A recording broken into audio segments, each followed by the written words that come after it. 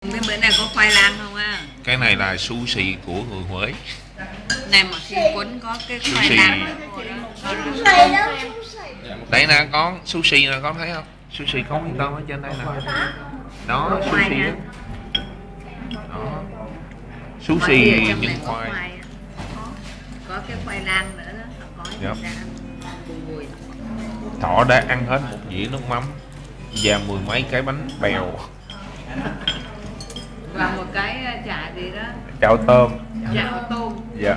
Mấy cái cái chả tôm này là cái mía đó gọi là cái gì đó. Hồi nãy hồi nãy quên đó ngoan cưng Ừ. cưng à, cưng thỏ trước khi ăn và sau khi ăn.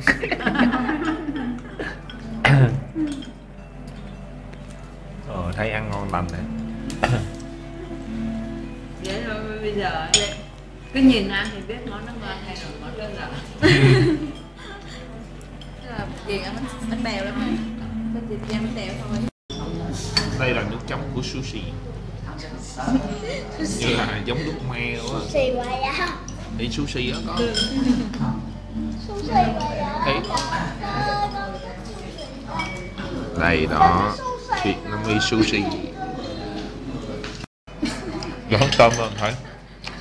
ok chị gỡ tôm lên coi trong có gì mà trong đó đặc biệt là Nhưng mà cái con tôm này là tôm mắm tôm.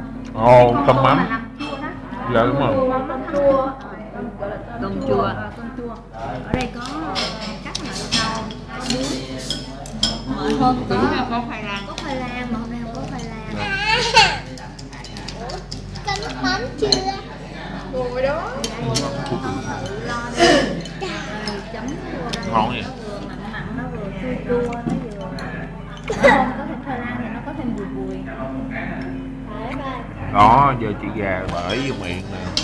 Ập một cái là chị yến hả? Rất là thèm luôn. Ừ. quá đã. Em sẽ gửi này cho chị yến. Thưởng thức nó không? Tuyệt vời. Rồi đến thỏ nữa. Khi nào quay nó cũng thấy nó ăn ở đó